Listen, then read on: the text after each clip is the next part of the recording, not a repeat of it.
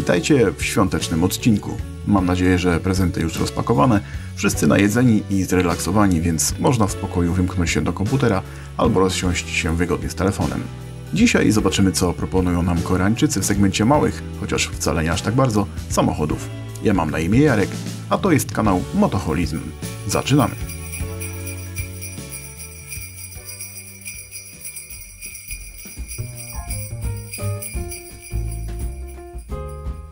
Dzięki uprzejmości Asi, która mimo ferworu przedświątecznych przygotowań udostępniła nam swoje auto, za chwilę sprawdzimy jaki jest Hyundai i20 z silnikiem 1.2 z roku 2018.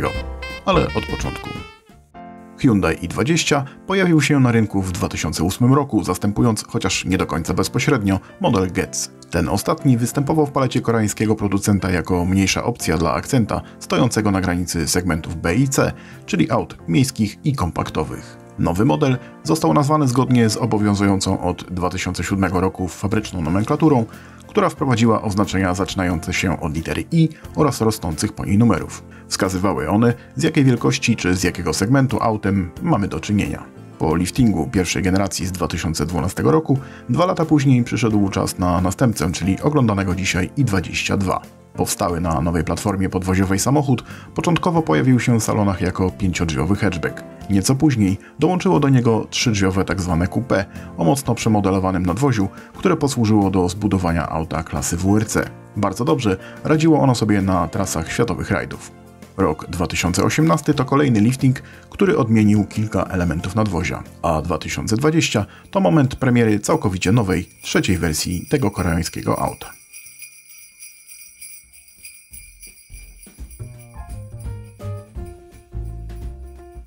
Muszę przyznać, że nie miałem wiele do czynienia ze współczesnymi Hyundaiami. Moje skojarzenia z tą marką zahaczały jeszcze o etap późnego akcenta czy średniej klasy Sonaty.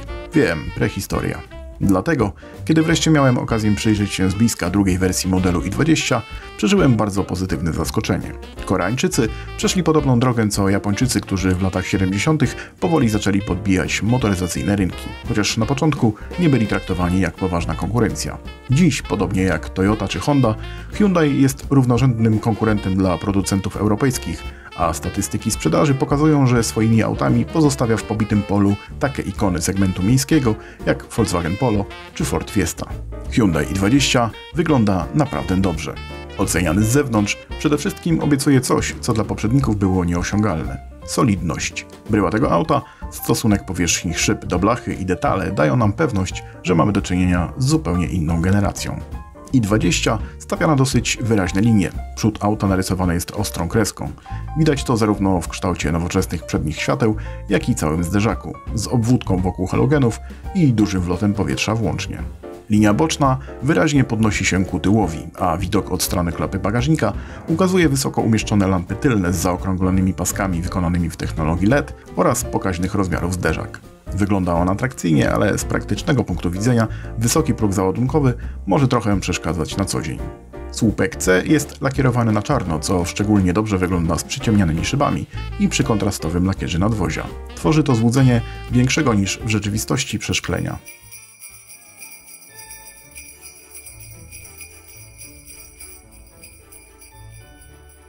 W środku czeka nas więcej przyjemnych niespodzianek.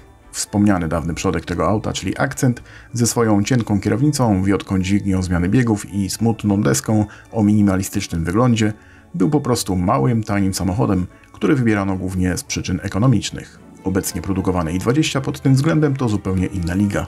Może jakość tworzyw nie jest powalająco wysoka, ale na dobre wrażenie składa się wiele małych doznań, jak solidne klamki zewnętrzne, głęboki dźwięk zamykanych drzwi, dobra pozycja za kierownicą z fotelami umieszczonymi na wygodnej wysokości, czy w ogóle kształt deski rozdzielczej. Jest ona szeroka i z głębokim podszybiem, co sprawia wrażenie, że siedzimy w sporo większym samochodzie. Co zresztą nie jest tylko złudzeniem, bo w Hyundaiu, jak na tę klasę, jest naprawdę przestronnie. Kierownica dobrze leży w dłoniach, ma poszerzenia w miejscach, gdzie powinny one spoczywać i można z niej sterować radiem czy podłączonym telefonem. Szkoda, że wnętrze nie jest trochę jaśniejsze i wzbogacone jakimiś kolorowymi akcentami, ale to też kwestia konfiguracji.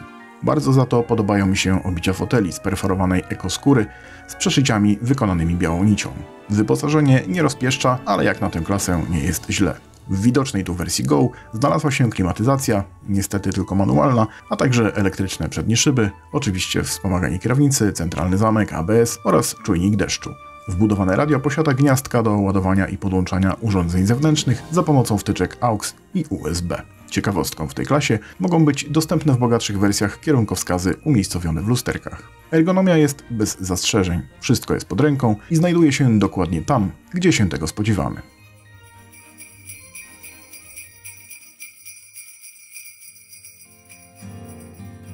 Silnik i20 ma pojemność 1.2 i moc 84 koni mechanicznych. Nie ma natomiast, i to bardzo dobra wiadomość, turbiny. Można mieć nadzieję, że umiarkowanie wysilony napęd będzie służył długo i bezawaryjnie. Jego spalanie miejskie mieści się w granicach 6,5 do 7,5 litra, a w przypadku wyjazdu w dalszą trasę możemy się zmieścić w okolicach 5,5 litra.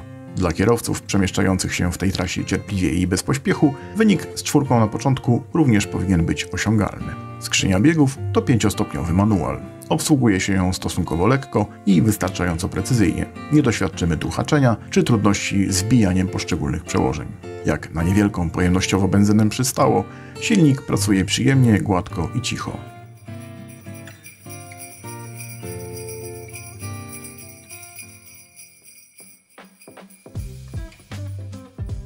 Rodzaju napędu można się domyślać, że emocji spowodowanych jego osiągami tutaj raczej nie zaznamy. Skupmy się więc na innych aspektach prowadzenia.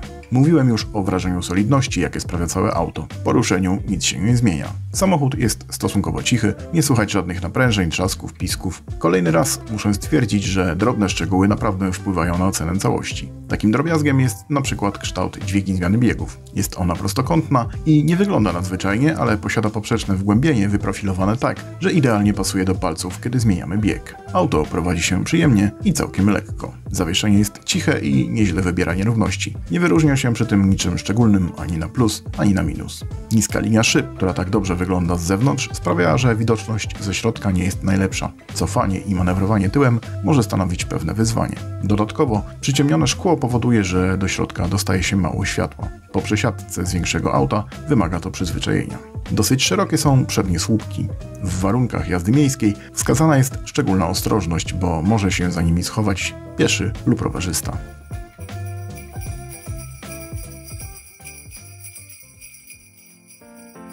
W tym miejscu informacji dzisiaj będzie niewiele. Silnik 1.2 Hyundai'a uchodzi za bezawaryjny. W rozrządzie zastosowano łańcuch, cały wymienny zestaw kosztuje najwyżej kilkaset złotych. Pojawiają się informacje o trudnościach z ruszaniem i jazdą na pierwszym biegu. Niektórzy użytkownicy zgłaszają, że auto jedzie przy niskiej prędkości skokami. Często jako winowajcę tego stanu rzeczy wymienia się sprzęgło. Poza tym naprawdę trudno wskazać jakieś typowe usterki.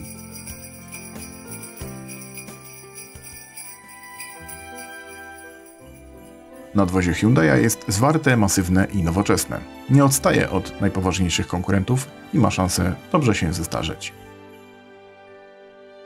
Solidna deska rozdzielcza, niezła kierownica, wygodne fotele, dużo przestrzeni. Mimo, że to auto miejskie, pędzenie w nim kilku godzin na trasie nie powinno być problemem. Poprawnie, cicho i przeciętnie oszczędnie, choć to nie kwestia mechaniczna, plus za wygodną do zmiany dźwigiem biegów. Poza materiałami eksploatacyjnymi na razie nic nie wskazuje na to, żeby mały Hyundai miał zamiar nadszarpnąć kieszeń swoich właścicieli. Być może to kwestia młodego wieku, ale na razie sprawy mają się dobrze. Auto segmentu miejskiego ma przede wszystkim być praktyczne. Nie należy od niego wymagać wiele więcej, ale przemieszczanie się i dwudziestką nawet w warunkach zakorkowanych ulic może być pozytywnym doświadczeniem. Małe Hyundai lata temu plasowały się na ostatnich miejscach listy życzeń właścicieli miejskich samochodów, ale Koreańczycy nie tracili czasu. W 2020 roku i20 był już piątym najchętniej wybieranym autem w swojej kategorii. Jeśli tak dalej pójdzie, legenda dalekowschodniej motoryzacji, czyli Toyota Yaris, która w tym samym roku znalazła się na szczycie tej listy, będzie coraz bardziej odczuwała zbliżającą się konkurencję.